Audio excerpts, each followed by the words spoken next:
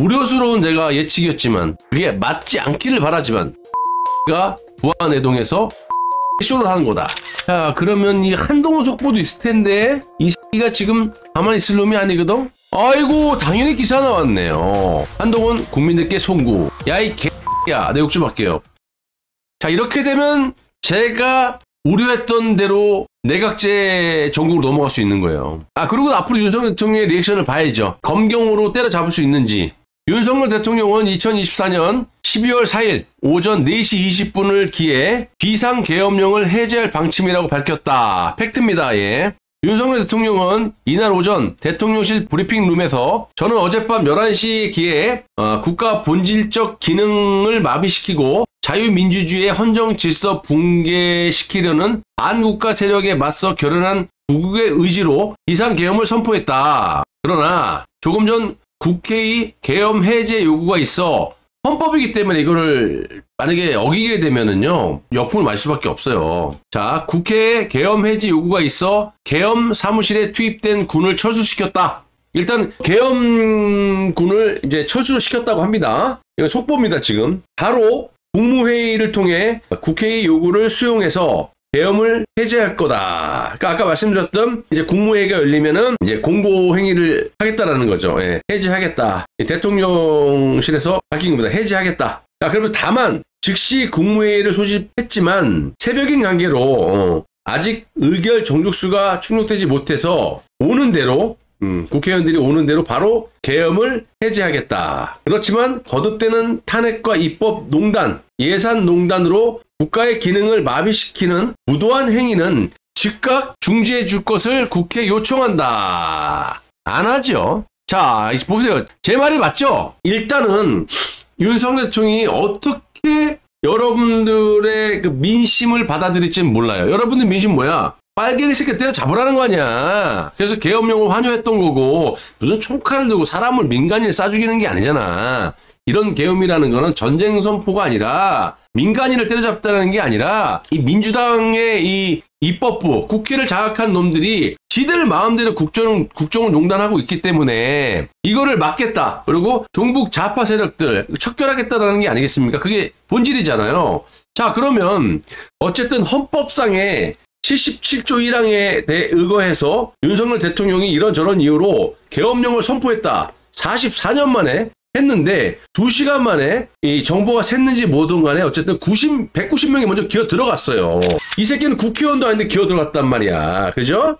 옆에 이 보좌관 같은 국민의힘당 법률자문위원장이라는 서울대 두사룹의 주진우 놈까지 그리고 더 많이 보면 이, 이 좌파 쓰레기들 이런 놈은 어떻게 들어갔으며 그러면 대통령이 계엄령을 발표했다라고 하고 군경을 동원해서 국회를 틀어막는 이유는 뭡니까? 헌법 77조 5항에 의해서 제적 의원의 가반수 이상이 되게 되면 이런 결과가 나오기 때문에 그걸 막기 위해서 바리게이트를 치고 군경, 계엄령을 동원해서 그걸 막았던 거 아닙니까? 근데 이미 들어가 있었단 말이야. 190명이.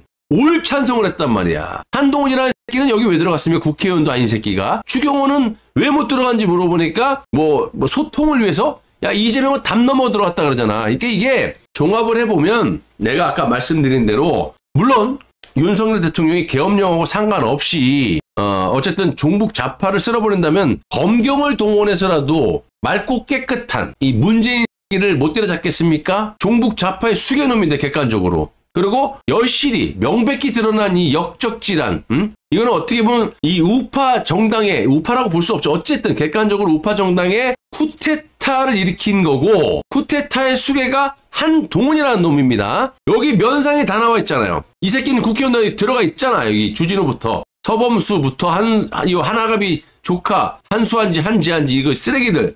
그러면 계엄령이 아니더라도 이거 먼저 다 척결해야 되는 게 맞는 거 아니겠어요? 그죠? 그리고 더 나가서는 계엄령 선포의 본질인 빨갱이 척결을 하기 위해서는 수기인 문재인을 잡지 못하면 이 우파의 지지를 받지 못할 수도 있다. 아, 저는 이렇게 평론하고 싶습니다. 그래서 제가 아까 말씀드린 우려스러운 이 내각제 개헌으로 가는 플랜이 아니라고 한다면 우리가 아름답게 윤석열 대통령을 지지하는 마음에서 정보가 샜다 라고 봤다면 이거는 윤석열 대통령은 이 인간들 플러스 문재인을 때려잡아야 됩니다. 검경을 통해서. 이거는 44년 만에 1980년 5월 이후에 44년 만에 이거는 와 계엄령 쇼는 전 국민을 상대로 이거는 엄청난 쇼잖아요. 그러면 안 되는 거잖아. 이걸 입증하려면 문재인 때려잡아야 되고 최소한 여기 있는 이 반역자들 다 때려잡아야죠. 지들이 들어가서 사진까지 찍었어. 이 국회의원도 아닌 놈이 들어가서 당대표라는 새끼가. 그리고 190명이 전원일치로 반대를 했잖아요. 그죠?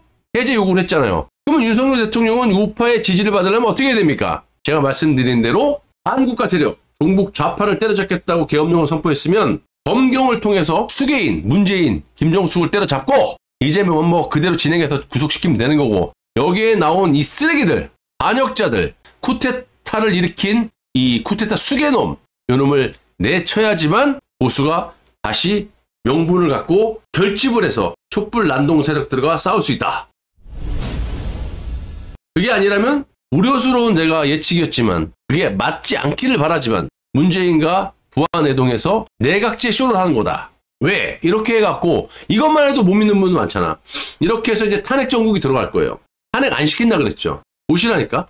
탄핵할래 아니면 너 하야할래. 그래서 김용민처럼 이 임기 보장, 아, 임기 보장해서 4년 중임으로 가서 내각제 개헌으로 간다는 거지. 그거는 윤석열 대통령의 앞으로의 행보에 따라 달라지는 겁니다. 제가 예측하는 거 우려스러운 일이 안 생겼으면 좋겠어요, 저도.